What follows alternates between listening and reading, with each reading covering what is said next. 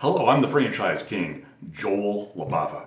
Today I'm going to talk about speed, quickness, the best way to get revenue going for your new franchise operation and hopefully turn it into profitability. Before I do that, please hit subscribe below and click the bell so you can get notified immediately when I publish new, helpful, useful, profitable videos on all things franchise. Let's get going. Today's topic, what is the best way to get revenue quickly, to get that cash register, to get that credit card machine going so you can get revenue and then hopefully turn into profit, pure franchise profit. That's what you want, right? Here's how to do it. And it's really not a big secret, but you might not have thought about it. The best way to do it is to choose an existing franchise opportunity to own. There are franchises for sale within 20 or 30 miles from you, I'm guessing. It's just a probability kind of thing.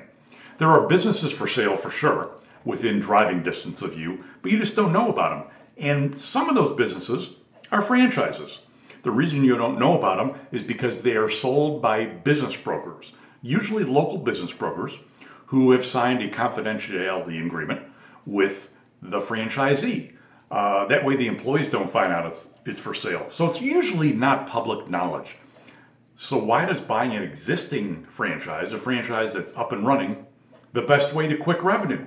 Because there's revenue coming in already. And hopefully, if you buy it at the right price, that revenue can turn into profitability quickly. Depends on the loan, depends on how much money of your own you're going to put in, depends if the owner's going to finance a portion, depending if you, you know, also could depend on getting you, you know, you getting a small business loan, SBA loan, etc. The point is this, when you start a franchise from scratch, a franchise that may be known but not known in your region, you're starting at zero. I like it. I like doing it like that because I like the idea of building a business. But some people, maybe you've been downsized, you want to really get your income going quickly. You want to make back what you've been earning. So the best way to do that and the fastest way to do that is by buying an existing franchise. You have to buy one where the numbers look good and where the owner is willing to disclose everything. That is a little challenging at times. And I will tell you that buying an existing franchise is way more complicated and sometimes more frustrating than buying a startup franchise where you're opening a location uh, uh, in in your in your own area and you're and you're starting from scratch.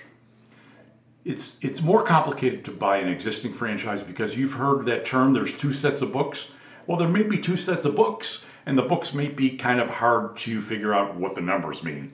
That's why you need a small business accountant, someone that knows and is familiar with small business accounting practices, and also why you need a franchise attorney to help you go over things if you decide to move forward. The best way to find an existing franchise in your area is to find a business broker in your area.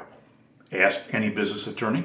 They may know of a broker. You can also go to the International Business Brokers Association website, ibba.org, and just do a search in your local area code or zip code, and you should be able to find a few brokers and ask them. Call them up, do an interview, ask them if they have any franchises for sale in their inventory of businesses. That said, the fastest way to get revenue and hopefully profitability in a franchise business is to buy an existing franchise business. Need help with that? I can certainly help you with the research part, show you how to do it, etc. I'm the franchise king, Joel Libava. Go to thefranchiseking.com and I will be happy to assist in anything franchise. Thanks for watching.